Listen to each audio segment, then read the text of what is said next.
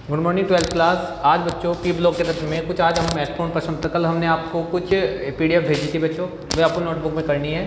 तो आज हम इससे कुछ अत्यंत महत्वपूर्ण क्वेश्चन आंसर करा रहे हैं। यद्यपि नाइट्रोजन प्लस फाइव ऑक्सीकरण अवस्था दर्शाता है, लेकिन ये पेंटालाइड नहीं बनाता है।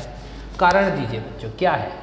देखो बच्चों नाइट्रोजन की वाहित्व मशा दूसरी है, जिसमें केवल एस और पी कक्षक उपस्थित होते हैं, आपको पता भी है।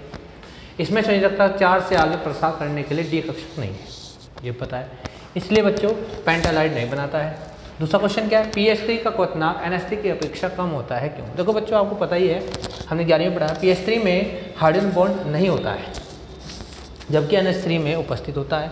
और जिसमें हाइड्रोजन बॉन्ड उपस्थित होगा तो वो क्या होगा बच्चों?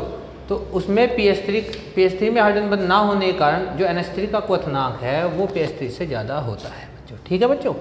तीसरा प्रश्न क्या है बच्चों? पंद्रहवें वर्ग के ट्राई हेलाइड से पेंटा हेलाइड कम स्थायी है क्यों? देखो बच्चों, ट्राई हेलाइड में एक आपकी सम्मित पाई जाती है, क्योंकि सिमेट, सम्मित का मतलब सिमेट्री, क्योंकि इनकी आकृति पिरामिड होती है। कैसी होती है? पिरामिड के आकार की होती है, अतः ट्राई हेलाइड अधिक स्थायी है। अगर उसकी आकृति पिरामिड होगी, पिरामिड की आकार तो वो अधिक स्थायी होगा, जबकि पेंटा हेलाइड में संरचना सम्मित नहीं होती है मतलब सिमेट्री सिमेट्री नहीं होती है, के कारण ये अस्थायी होता है।